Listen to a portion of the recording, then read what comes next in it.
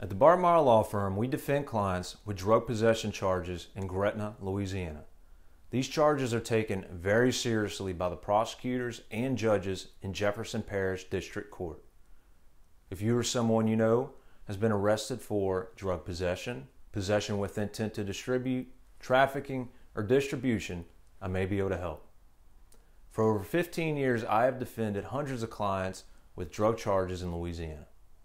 I've become so familiar with this area of law that I wrote the book on how to defend drug charges in Louisiana. The drug laws in Louisiana get harsher every year. These charges require serious care and skill, of which I provide to my clients. So if you or someone you know has been arrested for a drug possession charge, give me a call. I'd be happy to help.